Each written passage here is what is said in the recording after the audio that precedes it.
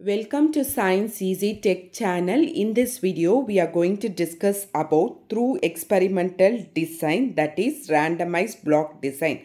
Under true experimental design, we have many types. So we are discussing one by one in each video. So in this video, we are going to discuss about randomized block design. The content is more than enough for 5 marks and uh, this is taken from unit 4 in the subject nursing research and statistics for BSc nursing students. This video is also useful for post basic BSc nursing students as well as MSc nursing students. Before moving on to the topic, if you are new to Science Easy Tech channel, just take a moment to subscribe our channel and also to press the notification bell icon in order to get connected with our latest updates. Let's move on to the content what we are going to discuss in this video. So, true experimental research design. Under true experimental research design, we are going to discuss randomized block design as I have already told. Randomized block design. What is this randomized block design? So to be considered as an true experimental research design, we need three criteria. What are those three criteria is first is randomization. That is randomly you have to assign subjects to the group. Next is you should have an experimental group and a control group. So control group is very very important in order to compare your results from experimental group and control group. And the third one is uh, some manipulation or treatment is needed in order to find out the results. So randomization, control group and manipulation. So these three criteria is very much necessary for any experimental research design. So now in this randomized block design here whenever the researcher wants to have homogeneity among selected subjects or groups.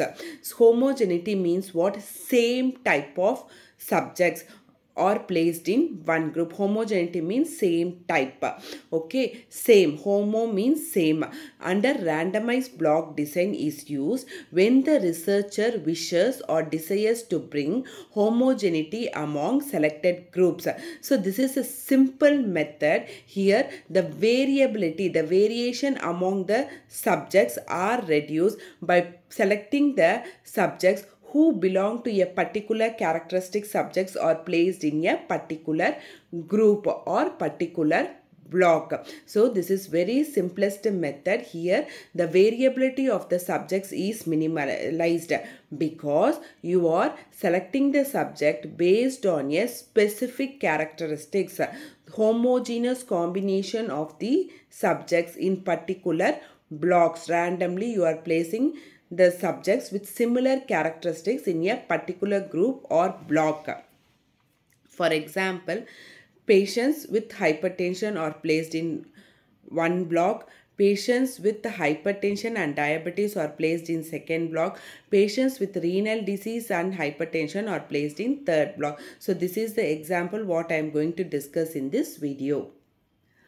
So for example, a researcher wants to test the efficacy of three different types of antihypertensive drugs. So the researcher wants to test the types of uh, efficacy of drugs, antihypertensive drugs in reducing hypertension. So, in order to have homogeneity of subjects, the researcher is placing them randomly in different blocks.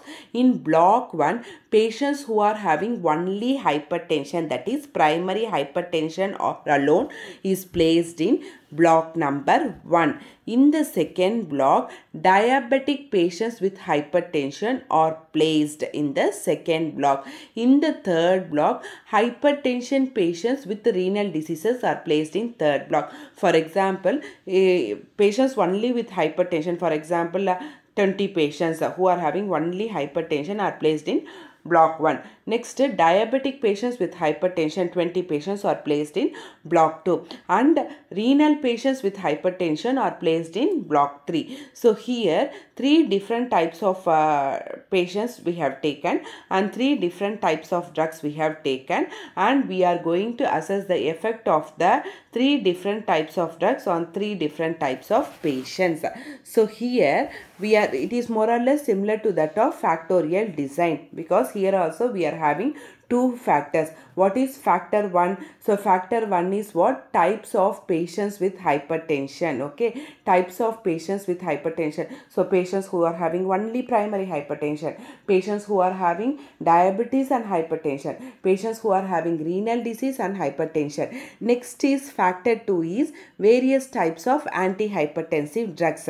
So there are two factors. One factor is what? Types of patients with hypertension. Other factor is what? types of antihypertensive drugs. So here only the what is manipulated only one factor is manipulated and the other factor is constant.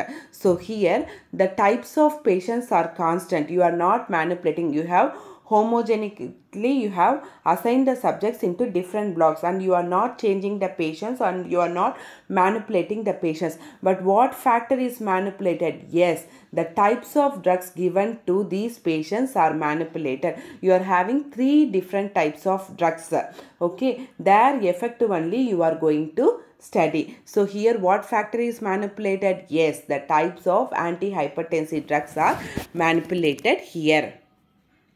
So here we can see in the um, tabular form types of antihypertensive drugs you have A, B, C. Three types of drugs which are grouped under A, B, C and you have type 1 patients in block 1 patients with primary hypertension block 2 patients with diabetic as well as hypertension then uh, type block 3 renal patients with hypertension so here what they are doing they are uh, giving these different three types of drugs they are testing so a drug is given to group 1 a drug is given to group 2 and A drug is given to group 3. Similarly, B drug is given to group 1 or block 1 then uh, B drug is given to block 2 patients and B drug is given to block 3 patients. Then C drug is given to block 1 uh, patients and C drug is given to block 2 patients and C drug is given to block 3 patients.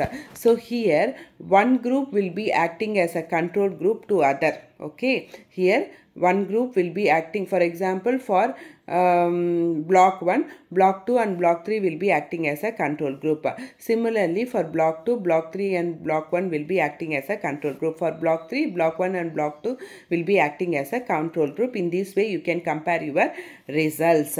Okay so next what are all the statistical tools used? If you are going to have so many factors, the best statistical analysis what can be used is analysis of variance that is ANOVA. Analysis of variance a test you have to use for calculation. What are all the advantages? As I have told earlier, it brings homogeneity among subjects.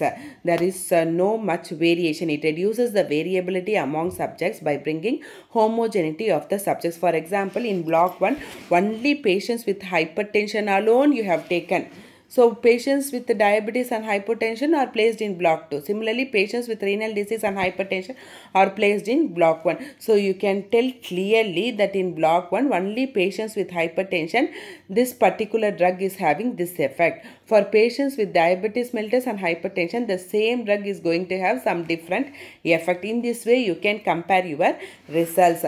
So you can uh, you can control the inherent uh, differences among experimental subjects and experimental conditions what is the disadvantages? You need very large sample size in order to do this randomized block design. So in order to have randomized block design you need to have large sample size and placing the subjects in different blocks uh, based on the criteria or specific characteristics is very very very important.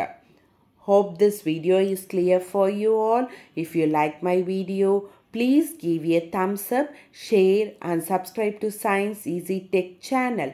My previous videos link I have given in description box, suggested end card and iCard. We have posted a separate playlist for BSc Nursing Research and Statistics and also for exclusively for statistics we have again uh, created a specific playlist.